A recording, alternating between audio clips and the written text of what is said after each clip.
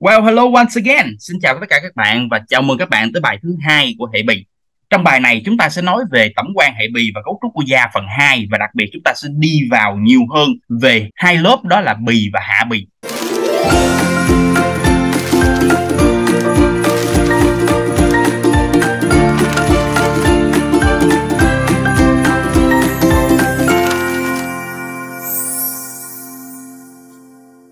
Ok, vậy thì bài hôm nay của chúng ta sẽ bao gồm ba nội dung. Thứ nhất, chúng ta sẽ đi vào dòng đời cơ bản của tế bào sừng.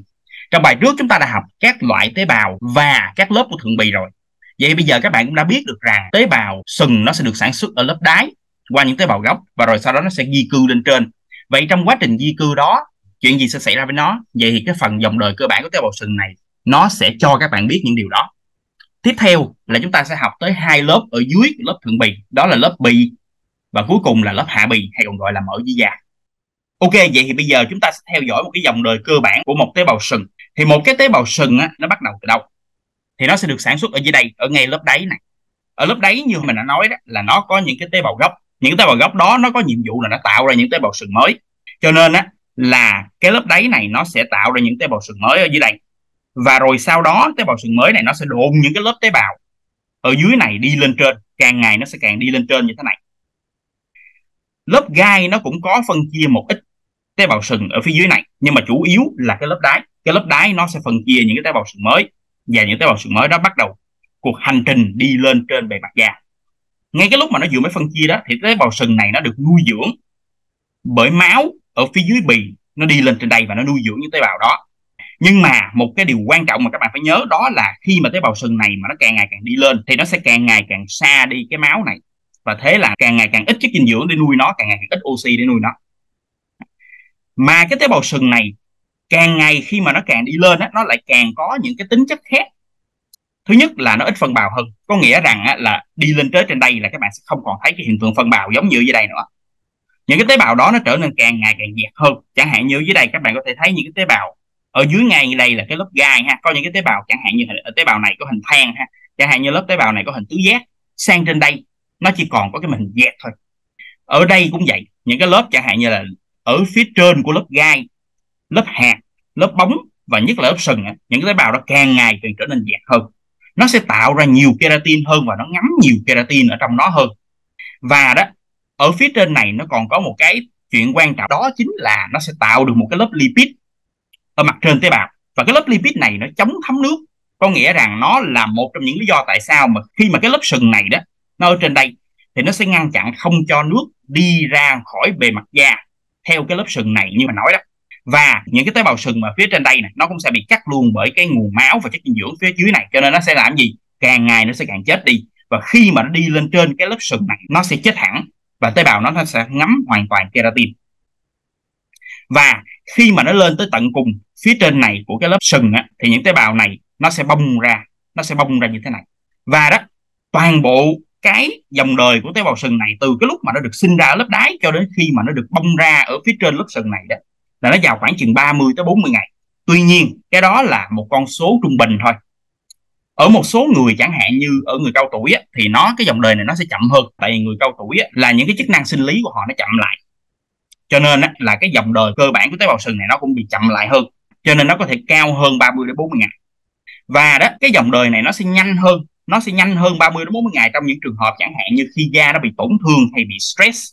Chẳng hạn như khi mà chúng ta ma sát da nhiều quá do làm việc tay chân nhiều ha, hay là cho chúng ta mang giày chặt quá thì á, dòng đời của cái tế bào sừng này nó được tăng lên rất là nhiều và cái lớp sừng ở ngay đó nó cũng dày hơn rất nhiều so với bình thường. Bởi vì cái dòng đời này nó nhanh quá nó đẩy những cái tế bào này đi lên phía trên thì khi mà đi lên phía trên nó chết đi nó sẽ ở lại ở trên lớp sừng này. Và nếu như cái dòng đời này xảy ra nhanh quá thì cái lớp sừng này nó sẽ có nhiều tế bào hơn nó sẽ dày hơn và cái sự dày lên của cái lớp sừng này nó tạo nên những cái vết chai người ta gọi là calluses ở ngay trên bề mặt da. Cái vết chai á, đó là sự tăng sinh nhiều hơn của cái lớp sừng này. Và tiếp tục á, là sự kết nối chặt chẽ và cái lớp lipid lên bề mặt cái tế bào sừng tạo nên một màng trắng không cho nước vào ra cơ thể một cách tự do. Hồi nãy cái này mình nói rồi. Và cái lớp tế bào sừng sau cùng nó sẽ bong ra. Và khi mà nó bong ra như vậy đó nó sẽ góp phần tạo nên bụi ở trong nhà của các bạn. Các bạn thấy bụi ở trong nhà của các bạn á thì đầu tiên mình cứ nghĩ rằng nó là cát hay là gì đó đúng không? Nhưng mà khi mà người ta nhìn vào kính hiển vi người ta thấy được rằng phần lớn cái bụi đó thực sự ra đó là những cái tế bào sừng. Của cái lớp sừng này nó bị bong ra nó bay lên trên cái bề mặt của cái bàn nó hạ cánh ở trên nền nhà vân vân vân vân nó tạo thành cái bụi nhà của chúng ta.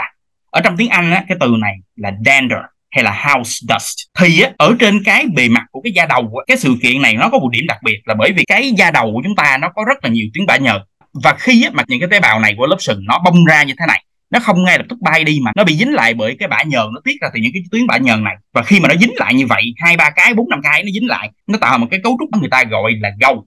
Ha gầu trong tiếng Anh là dandruff và đó chính là những tế bào sừng bong ra nó bị vón thành cục bởi chất bã nhờn da đầu nó tạo nên. Thì đây đây chính là những cái hình mà mình đưa lên kính hiển vi của cái bụi nhà mà các bạn đã thấy. Đây chính là những cái tế bào của cái lớp sừng nó đã bị bong ra.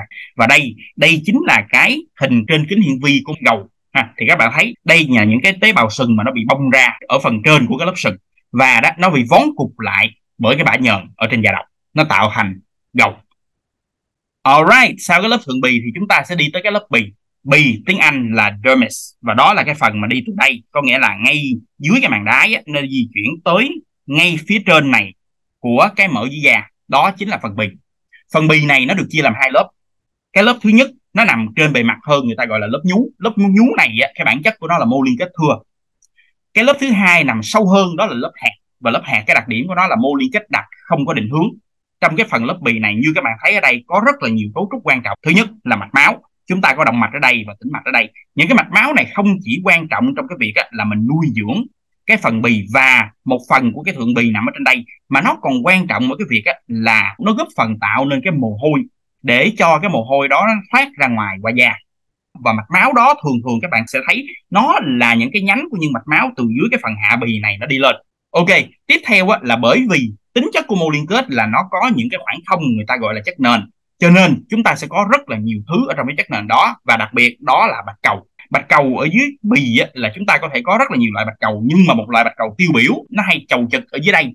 Để mà nó chờ những cái con vi khuẩn đi từ trên cái thượng bì xuống nếu có và ăn chúng và báo động cho phần còn lại của cái hệ miễn dịch đó chính là đại thực bào. Đại thực bào nó sẽ trầu trực ở dưới cái lớp bì này để nó chuẩn bị cho một cái cuộc xâm lăng ở phía bên ngoài nó vô của những con vi khuẩn. Và đó cũng có những cái nang lông. Nang lông là cái gì? Nang lông là những cái phần sâu hơn của cái lông và đó, ở trên là, ở trong cái lớp bì này nó cũng có rất là nhiều cái loại tuyến, chẳng hạn như gì? Tuyến mồ hôi. Chẳng hạn như ở đây hay ở đây. Và tuyến bã nằm ngay chỗ này. Đó chính là những cái tuyến của da ở trong người nữ nó cũng có những cái tuyến vú. Thì tuyến vú nó cũng nằm ở trong lớp bì này luôn.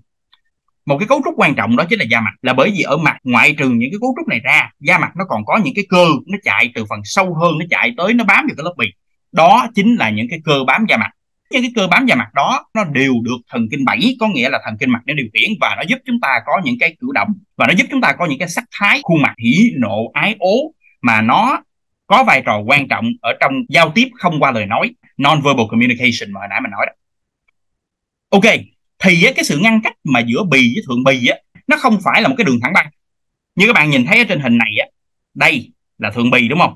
Ha, lớp sừng là ở đây, ha, lớp đáy là nằm khoảng chừng ngay chỗ này cái basement membrane á, cái ờ, màng đáy á, ha nó sẽ nằm ở khoảng chừng ngay đây nó phân chia bì với lại thượng bì ha. nhưng mà ranh giới giữa bì với thượng bì á, nó không phải là một đường thẳng băng nó không phải là một cái đường như thế này. Mà đó nó là một cái chuỗi của những cái nhú mà nó nhô lên hạ xuống giống như kiểu này. Mọi người thấy không? Ở đây chúng ta có một số cấu trúc mà các bạn phải biết. Thứ nhất là cái phần thượng bì ở trên đây mà nó xuống sâu vào cái lớp bì. Chẳng hạn như ở đây hoặc là ở đây người ta gọi những cái phần đó là những cái nhú thượng bì, epidermal ridges. Nha. Và đó, ngược lại cái phần bì mà nó lên cao, chẳng hạn như ở đây, hoặc là ở đây. Nha. Thì những cái phần đó người ta gọi đó là những cái nhú bì, dermal ridges. Ở một số chỗ, những cái nhú bì này đó, nó có thể đi gần lên tới bề mặt da luôn. Và đó, bởi vì ở dưới bì này nó có rất là nhiều mạch máu, cho nên khi mà chúng ta đi lên tới da như vậy đó ha, thì những cái mạch máu này nó sẽ có màu rõ rệt hơn và da ở những phần đó, thường nó sẽ có màu hơi đỏ đỏ hơn hay hồng hồng hơn một chút xíu so với da của những phần khác. Chẳng hạn như, các bạn có thể suy nghĩ được rằng cái phần nào ở trên cơ thể nó được che bằng da, nhưng mà da ở chỗ đó nó hơi khác màu, nó hơi đậm màu hơn phần khác không? Có một số bạn có thể nói rằng môi điều đó là hoàn toàn chính xác. Ha, ở môi á, thì cái nhú bì này nó có thể đi lên rất là cao, cái nhú bì nó có thể đi lên tới đây luôn bởi vì như vậy cho nên những cái mạch máu chúng ta có thể thấy được một cách rất là dễ dàng ở dưới cái bề mặt của da này. Đó là lý do tại sao mà cái môi chúng ta nó có màu hơi đậm hơn chút xíu. Một nơi nữa, đó là cái quy đầu dương vật, cái phần mà nó nằm ở ngay chỗ này. Và nếu như các bạn để ý thật kỹ, thì các bạn sẽ thấy được rằng nếu như chúng ta lấy một cây kim và chúng ta châm vào cái phần da này, thì nó nhói hơi, ít hơn chút xíu. Nhưng mà thử các bạn lấy một cây kim mà các bạn châm vào đây xem nha châm vào đây xem hoặc là châm vào đây xem nó đau thấy trời xanh luôn. Tại vì sao? Tại vì không chỉ có mạch máu mà ở dưới cái lớp bì nó còn có gì nữa? Thần kinh. Cho nên á, là chúng ta sẽ thấy được rằng ở những chỗ này nó sẽ có cái thụ cảm rất nhiều lần so với bình thường. Và đó chính cái thụ cảm mà nó ở ngay cái phần quy đầu dương vật này đó chính là lý do tại sao mà chúng ta có sự khoái cảm trong lúc làm tình. Và một phần quan trọng nữa ở cái những cái ngón tay của chúng ta những cái nhú bì này đó nó sắp xếp ở dưới da theo một cái hình ảnh cuộn xoáy rất là đặc biệt và chúng ta gọi những hình ảnh cuộn xoáy của cái nhú bì đó là vân tay. Ok tiếp theo là chúng ta sẽ tới cái phần hạ bì. Hạ bì tiếng Anh là hypodermis hay còn gọi là subcutaneous fat. Thì như chúng ta đã nói từ trước hạ bì chủ yếu là chứa mỡ và có một chút ít mô liên kết thừa nhưng phần lớn là mỡ. Cái phần mỡ dưới da này, này nó không phải là ở phần da nào nó cũng bằng nhau mà nó sẽ dày mỏng tùy thuộc vào vị trí cơ thể. Chẳng hạn như trên da đầu các bạn sẽ thấy là gần như không có cái mỡ dưới da này. Chẳng hạn như ngay chỗ, ngay trước xương đòn, các bạn sẽ thấy là cho dù là người mập đến thế nào đi nữa, người ta cũng thường là sẽ không có chứa mỡ ở phần đằng trước xương đòn. Nhưng mà, bụng, đùi, mông và tuyến vú của nữ, nó có rất là nhiều mỡ. Cái phần mỡ dưới da ở dưới đó, nó rất là đầy đặn, nó rất là nhiều. Và ở nữ, nó giúp tạo thành cái đường cong của cơ thể. Và ở nữ có nhiều hơn nam, khoảng 8% là tại sao? Ở nữ có những cái nhu cầu đặc biệt, chẳng hạn như là nhu cầu tạo ra sữa để nuôi con, mà ở nam không có. Cho nên là chúng ta sẽ phải có những cái mỡ dưới da này nhiều hơn, tại vì sao? Tại nó giúp tạo ra năng lượng. Và đó, cái phần mỡ dưới da này nó sẽ ít hơn ở người cao tuổi và trẻ sơ sinh. Chức năng là gì? Chức năng của cái mỡ dưới da nó là làm đệm cho cơ thể và đính da vào trong những cái lớp phía dưới. Tại vì nó là cái màng nông mà, cho nên nó cũng có thể đính da vào trong cái mặt sâu và rồi cái mặt sâu nó sẽ đính cả những phần ở trên nó vào cái cơ nó cũng có thể được sử dụng làm năng lượng dự trữ và để tạo nhiệt cho cơ thể. Cái phần này là mình đã học rồi ở trong cái phần mở ha. Ok, và đó, ở dưới cái phần hạ bì này chúng ta sẽ có rất là nhiều những cái mạch máu. Những cái mạch máu này nó ở đây nha, và nó sẽ cho những cái nhánh nó lên trên cái lớp bì. Để cho những cái mạch máu trên lớp bì nó có thể giúp nuôi dưỡng một phần của cái thượng bì ở đây và nó giúp nuôi dưỡng cho cái lớp bì ở dưới và những cái cấu trúc ở trong cái lớp bì đó. Bởi vì nó có rất là nhiều mạch máu dưới đây, đặc biệt là tĩnh mạch cho nên chúng ta có thể sử dụng cái điều này để chúng ta tiêm thuốc vào trong cái mỡ dưới da này và khi mà chúng ta tiêm thuốc vào trong cái mỡ dưới da này thì thuốc đó nó sẽ ở dưới cái mỡ dưới da và từ từ nó sẽ ngấm vào cái tĩnh mạch để tĩnh mạch nó di chuyển những cái thuốc đó nó đi về trong hệ tuần hoàn Ok, vậy thì bài của chúng ta hôm nay đến đây kết thúc rồi. Cảm ơn các bạn đã chú ý lắng nghe. Nếu như các bạn có câu hỏi gì thì hãy comment ở bên dưới để mình có thể trả lời những câu hỏi của các bạn một cách nhanh nhất có thể. Nếu các bạn thích video này xin hãy ấn like và hãy ấn subscribe nếu như các bạn muốn keep up với những video sau. Mình tên là Khoa, đây là series Khoa giải thích giải phẫu và sinh lý học và mình sẽ hẹn gặp các bạn ở trong bài thứ ba của hệ bì. Bye bye.